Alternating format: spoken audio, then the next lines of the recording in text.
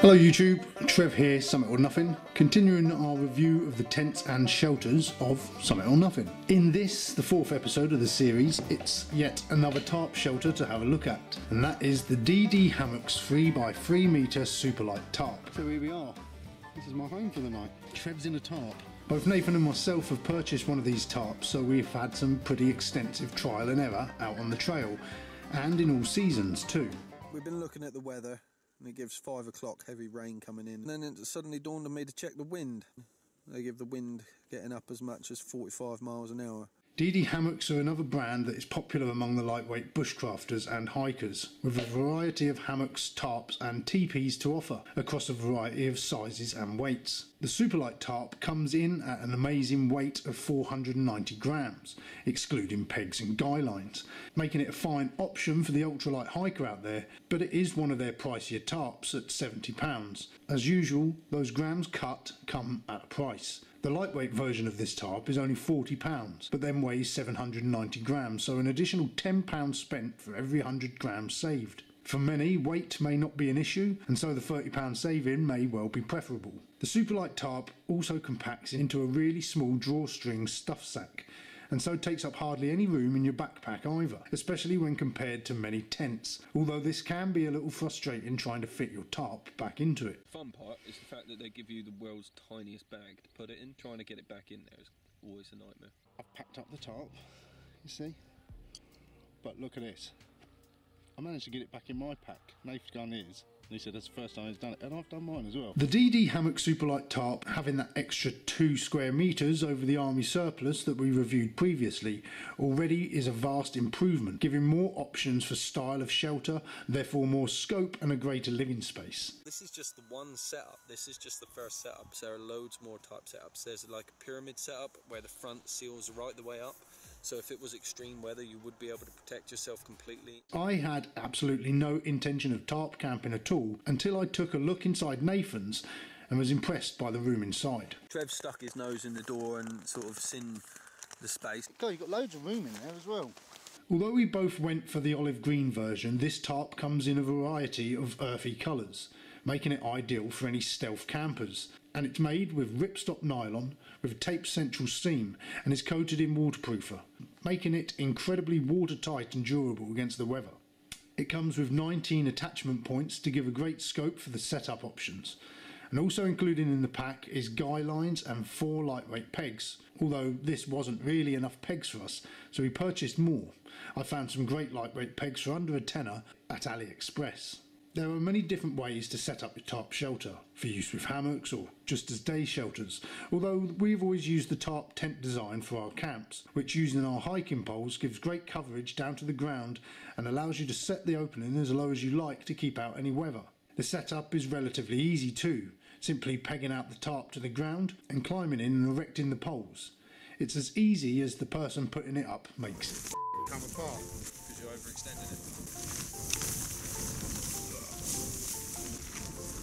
No, it just keeps falling down. It's like it's not tall enough. Pass me a pole.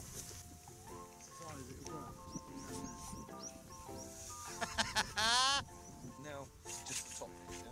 Oh, everyone else's hiking poles in the world will work, but not Trev. The tension of the tent over the poles keep the poles upright.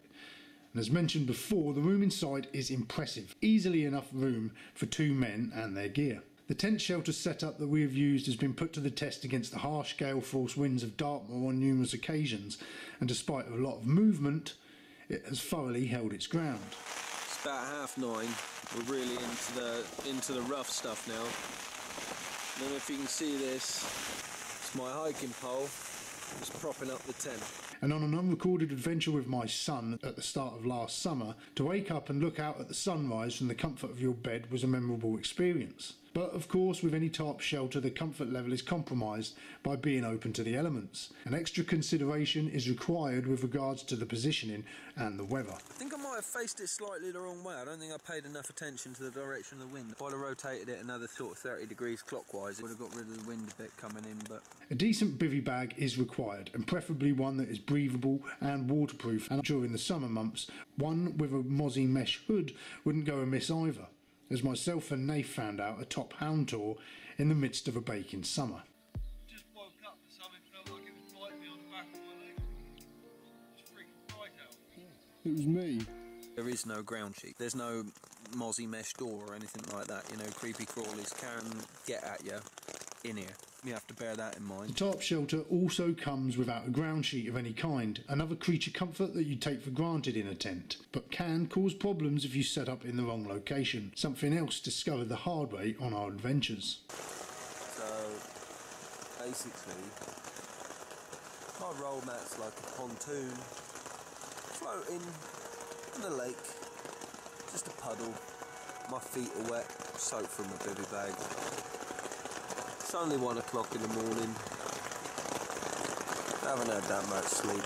Quite happily go home now. Pretty much off with the whole adventure. So now let's start the scoring to see whereabouts the DD Hammock Superlight Tarp fits in with the rest of our tents. Price. At £70, it is a little pricey for a tarp, but as mentioned, it's still a decent price when compared to tents, but then additional costs come into play, such as pegs, hiking poles, and bivy bags. 7 out of 10. Weight. This is where the ultralight tarp is an excellent choice, as weighing in at less than half a kilogram is a massive weight saver, especially considering the room it gives you to reside in and the space it saves in your backpack. 10 out of 10. Practicality. As I said, the space under the tarp and the space saved in your backpack are definite pros for this shelter, and it's easy to erect, but packing it back into this handy sized stuff sack is not the easiest, especially if you want the pegs in there too. 7 out of 10. Comfort. This is a spacious design that feels more like a tent than a shelter, with plenty of room within. However, the lack of fly sheet or ground sheet means that you are more likely to be invaded by weather or creepy crawlies. 6 out of 10. Durability. It's light but well made. It has withstood a battering against the winds on numerous occasions, and as long as you consider where you set up and what direction it faces, it should keep the worst of the weather at bay. 8 out of 10. Which means that the DD Hammock Tarp Shelter scores 38 out of 50, nudging it to the top of our leaderboard above the Vango Mirage.